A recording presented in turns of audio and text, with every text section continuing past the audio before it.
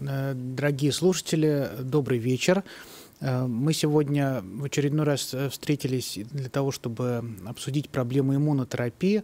И в этот раз мы будем обсуждать более узкую тему, часть иммунотерапии, которая существует на сегодняшний день в лечении злокачественных опухолей, но которая, наверное, занимает наибольшую часть, это применение ингибиторов контрольных точек в лечении онкологических больных. Итак, что вообще такое иммунотерапия? Ну, надо сказать, историческая перспектива – это, конечно, старейший метод лекарственной терапии э, и старейший метод лекарственного лечения злокачественных опухолей. И она использует основной принцип, и все методы иммунотерапии основываются на нем. Мы хотим вовлечь в борьбу собственной силы организма мы хотим активизировать его, потому что мы знаем, что иммунная система э, может, в принципе, справиться с любой злокачественной опухолью. Наша задача просто помочь ей объяснить, снять барьеры, которые э, препятствуют ей э, в этом. И надо сказать, что здесь, я уже много раз показывал эту картинку, да, раньше, э, когда мы начинали только изучать иммунную систему, мы представляли, что это такая система безопасности, что это защита от внешней среды, от внешних угроз, система, которая, в общем-то, защищает нас от бактерий и вирусов.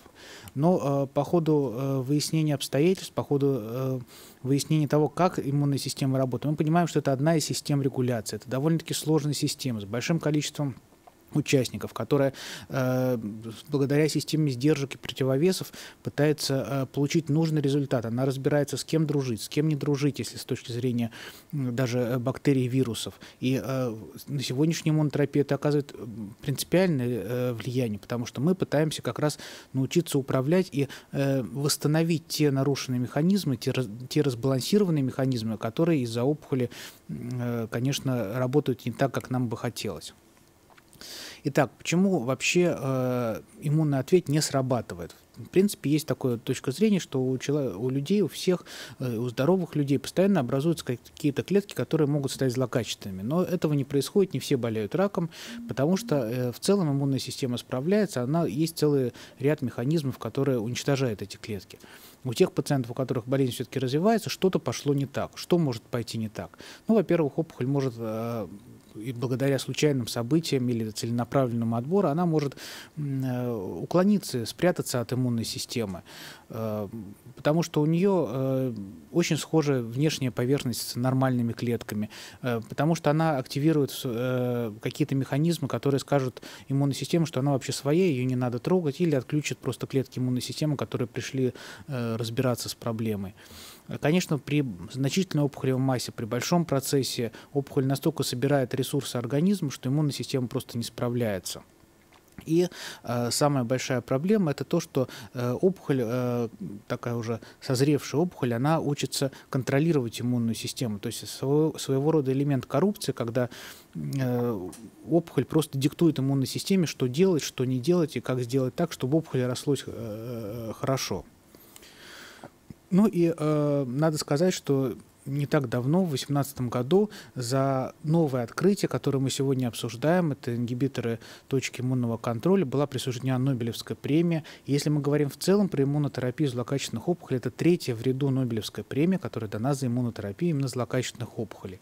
Действительно, эти ученые открыли новый подход, новый способ иммунотерапии, который вызвал революцию. И на сегодняшний день вы видите на э, верхней картинке здесь, да, один, один класс препаратов, он оказался эффективен при целом ряде, каждый кружочек это вот одна злокачественная опухоль.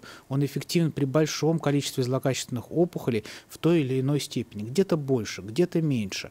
Но тем не менее, это средство по сути универсальное. И э, буквально недавно были зарегистрированы показания, которые позволяют всем практически больным злокачественной опухолью назначать эти препараты, если у них есть определенные генетические нарушения в э, структуре опухолевой ткани. То есть это э, универсальное средство нашли. Э, что делает это средство? Это средство снимает одну из систем контроля. Если мы говорим про нормальную ситуацию, да, нам, у нас есть система безопасности, система торможения иммунной системы. Если их не будет, разовьется аутоиммунное заболевание мы пытаемся отключить эту систему, потому что, по сути, противоопухолевый иммунитет – это аутоиммунная реакция, то есть реакция организма против своих собственных тканей, но в данном случае мы очень хотим, чтобы она была, и чтобы у нас получилась такая ситуация. То есть мы как бы разобили коробочки, которые, в которых мы представили опухоль. Но если, с другой стороны, э, точно так же э, иммунная система может э, напасть и на свои собственные ткани. И мы получаем иммуноопосредованные нежелательные явления от этих же самых препаратов, которые получаются потому, что мы отключили тот же самый механизм действия. Поэтому Безусловно, да, это революция, но это та машина, которая несется без тормозов. И это надо тоже понимать. Что получается, если мы э, предпринимаем лечение? У нас есть, в принципе, несколько принципи... э, вариантов ответа опухоли на эти препараты. Здесь э, каждая линия, которая идет э, выше, э, горизонтальной, она отражает э, пациента, которые живут лучше. Что получается? Что для некоторых пациентов иммунотерапия всегда оказывается лучше, она всегда лучше стандартного лечения. Это те опухоли, которые раньше лечились плохо, например, меланома, и для которой эта иммунотерапия дала просто революционные изменения. Есть другая группа опухоли, для которой вначале разницы никакой нет, и только потом реализуется то благоприятный эффект иммунотерапии, на который мы все рассчитываем. А этот благоприятный эффект выражается в том, что даже после короткого лечения мы можем достичь стойкого и длительного ответа. И пациенты могут остаться без лечения и без прогрессирования опухоли, а иногда и без проявления опухоли. То есть именно поэтому иммунотерапия позволяет нам э, рассчитывать на то, что мы можем вылечить каких-то э, пациентов, даже при распространенном процессе. Но обратите внимание, что это не такое большое количество пациентов. То есть если мы посмотрим на эти графики, вот у этих пациентов большой разницы от применения иммунотерапии нет. И тем более нет разницы вот этих пациентов, у которых на начальном этапе иммунотерапия может быть даже и хуже, чем стандартное лечение. Но потом все-таки она становится лучше. Поэтому, к сожалению, мы на сегодняшний день работаем над тем, чтобы понять, какие пациенты относятся к вот этой группе, а какие к вот этой, которые получают несомненную пользу от иммунотерапии, у которых будет длительный эффект. Но, к сожалению, это сейчас э, сложно решаемый вопрос, который работает, по сути, весь мир, и в том числе и наш институт как отобрать пациентов, у которых иммунотерапия явно поможет, и которым иммунотерапия очень нужна, и отделить их от пациентов, которым иммунотерапия либо э, поможет э, не сильно, либо вообще не поможет и таким образом э, э, искать для них какие-то другие варианты лечения. Обратная сторона медали – это иммуноопосредованное нежелательное явление.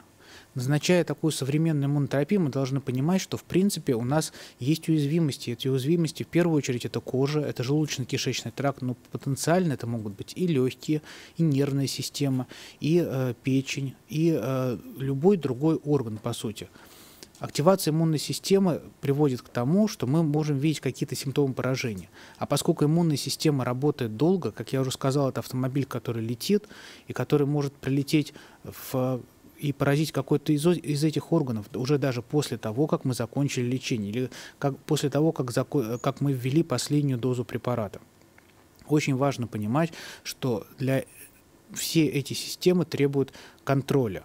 То есть у пациента и у врача должна быть э, тесная взаимосвязь. Пациент обязан рассказывать врачу о каких-то нежелательных явлениях, даже если он считает, что это ну, как-то не относится, что это естественно, да, что, ну, конечно, если пациенту прокапали какое-то серьезное лечение, у него может быть э, некоторое ухудшение состояния. Некоторые пациенты просто пытаются скрыть от нас э, ситуацию. И это, к сожалению, приводит к нежелательным явлениям иммунотерапия настолько опасна, что иммуноопосредованные нежелательные явления могут э, действительно вызывать э, в том числе и э, жизнеугрожающие летальные осложнения. Но все случаи таких осложнений, как правило, начинаются рассказом о том, что пациент по какой-то причине не смог, не захотел, отказывался от предложенного лечения, откладывал обращение к врачу.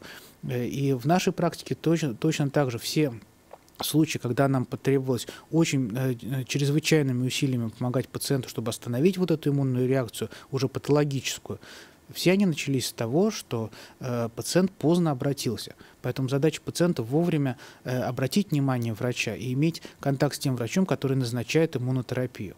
Конечно, врачу может потребоваться помощь, может потребоваться э, помощь команды врачей, потому что есть специалисты, которые лечат органы желудочно-кишечного тракта, есть эндокринологи, которые лечат поражение иммунной системы.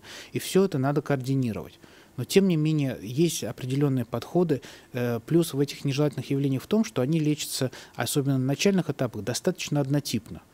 И, в принципе, мы можем эффективно э, при своевременном обращение остановить эти процессы. И более того, как правило, для ингибиторов иммунных контрольных точек пациенты, у которых есть достаточно выраженные побочные эффекты, получают лучший эффект противоопухолевый. То есть, по крайней мере, люди страдают не зря. Но тем не менее, про вторую часть вопроса, про лечение нежелательных явлений, надо помнить, когда мы э, думаем о том, чтобы назначить или не назначить ингибиторы иммунных контрольных точек. Итак, если уже приближаться к завершению нашего разговора, да, что я бы хотел вот сфокусировать э, три основных мысли, которые я бы хотел, чтобы вы вынесли из э, нашей беседы, и потом мы в процессе ответа на вопросы мы просто попытаемся расширить, может быть, что-то разъяснить. Да? Во-первых, иммунотерапия на сегодняшний день это, безусловно, революционный метод лечения. Ингибиторы контрольных точек – это самое революционное, что случилось, наверное, в последние э, пять лет в онкологии. Это то лечение, которое может обеспечить длительно сохраняющийся эффект даже после его завершения – некоторым пациентам достаточно одного-двух введений, чтобы развился этот эффект. Но надо понимать, что это лечение, несмотря на всю его революционность, оно помогает далеко не всем. И у него, возможно, серьезные отсрочные э, осложнения. То есть иммунотерапия – это не легкое какое-то лечение, которое однозначно легче, чем химиотерапия. Иногда оно тяжелее, чем химиотерапия. Но оно имеет определенные свои плюсы.